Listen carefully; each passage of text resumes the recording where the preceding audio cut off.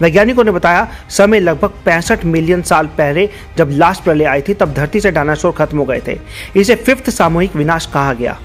अब वैज्ञानिक डरे हुए हैं कि जल्द ही सिक्स प्रलय भी आएगी, जिसमें कई स्पीशीज समेत इंसानों का भी खात्मा हो सकता है। ये विनाश हवा और पानी में ऑक्सीजन की कमी होगी। चलिए, जानते हैं पूरी जानकारी।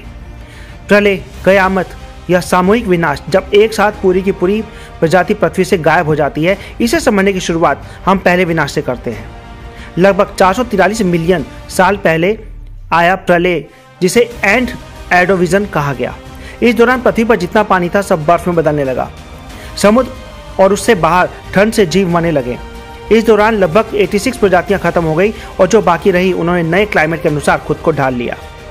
दूसरी बार प्रलय लगभग 359 से 380 मिलियन ईयर पहले आई। एकदम पक्का अंदाज़ा वैज्ञानिकों को भी नहीं है, इसे एंड डेवोनियन कहा गया। धरती पर ज्वालामुखियों के अचानक एक्टिव होने से ऑक्सीजन का स्तर कम होने लगा और स्पीशीज खत्म होने लगी। ये इतना भयानक था कि तब मौजूद 75 परसेंट से ज़्यादा प्रजातियाँ खत्म हो गई। इस दौरान कई मछलियाँ और कोरल खत्म हुए।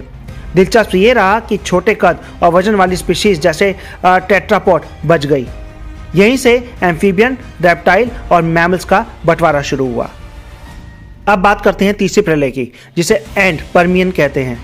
लगभग दो मिलियन साल पहले हुए इस सामूहिक विनाश के जिम्मेदार साइबेरिया के ज्वालामुखी थे। वो फटने लगे, समुद्र हवा में जहर और एसिड फैलने लगा। यहाँ तक कि ओजोन की परत भी फट गई। इससे खतरनाक यूवी रेज निकली। इसी दौरान निकले रेडिएशन से जंगल से जंगल जलकर खत्म हो गए। इस दौर को चारकोल गैप भी कहा जाता है। तब फंगस के अलावा ज़्यादातर प्रजातियाँ खत्म हो गई। लगभग 210 मिलियन साल पहले चौथी बार धरती पर तांडव मचा, जिसे एंड ट्रैसिक दौर कहा गया। इस बार भी ज्वालामुखी फटे लेकिन साइबेरिया में नहीं, बल्कि धरती की बाकी जगहों पर। इस विनाश में भी तब मौजूद लगभग 80 प्रजातियाँ खत्म हो गई। बचे तो डायनासोर और क्रोकोडाइल के पूर्वज, जिन्हें क्रोकोडाइलमोर्फस नाम दिया गया। आखिर और पांचवा सामूहिक विनाश एंड क्रिटेशियस कहलाया। ये वही समय है जब डायनासोर धरती से गायब हो गए। लगभग 65.5 मिलियन साल पहले आए। इस पहले के थ्योरी पर लंबे समय से बहस चल रही है कि आखिर इसकी वजह क्या थी। इस दौरान एक एस्टेरॉयड धरती से टकराया और ये बात सभी जानते हैं, लेकिन क्या उसके टकराने भर से ऑक्सीजन खत्म हो गई? क्या उसकी वजह से डायनासोर जैसी मज़बूत प्रजाति खत्म हो गई? वजहों पर बहस के बीच ये बात भी सबने मानी कि वातावरण में कार्बन डाइऑक्साइड बढ़ी और ऑक्सीजन का स्तर एकदम नीचे चला गया। इस दौरान 76 प्रजातियाँ मर गई। अब बारी आती है सिक्स विनाश की। जिसकी बात साइंटिस्ट अब करने लगे हैं कि ये कैसे होगा, क्यों और कब होगा। नब्बे की शुरुआत में मशहूर जीवाश्म वैज्ञानिक रिचर्ड लीके ने चेताया था कि इंसान ही सिक्स विनाश के जिम्मेदार होंगे। यहाँ याद दिला दें कि इससे पहले आ चुकी पाँचों ही आपदाएँ प्राकृतिक थी। किसी जीव जंतु की वजह से नहीं, लेकिन इस बार खतरा ज़्यादा है क्योंकि इंसानी एक्टिविटी धरती पर ऑक्सीजन कम कर रही है। इसकी शुरुआत भी हो चुकी है। दरअसल प्रलय के बिना भी धरती से लगातार कई स्पीशीज खत्म होती रहती हैं। इसे बैकग्राउंड रेट कहते हैं।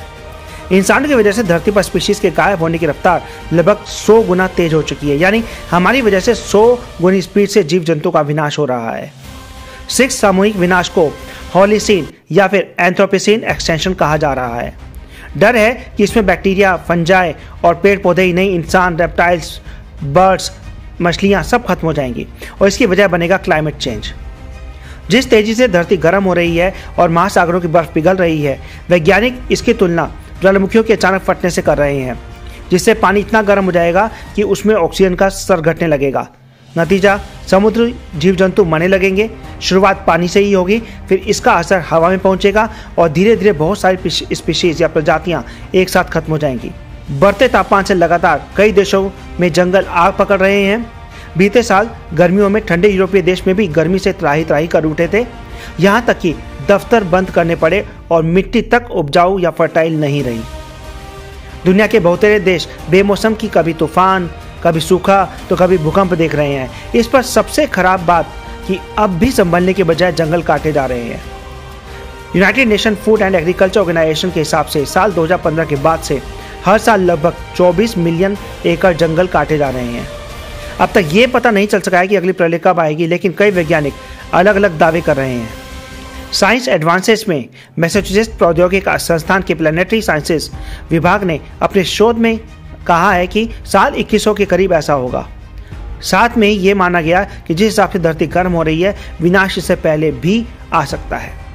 अगली वीडियो में फिर मिलते हैं कुछ और इंटरेस्टिंग फैक्ट के साथ। अगर आपको वीडियो पसंद आए तो लाइक शेयर सब्सक्राइब ज़रूर करें। Thank you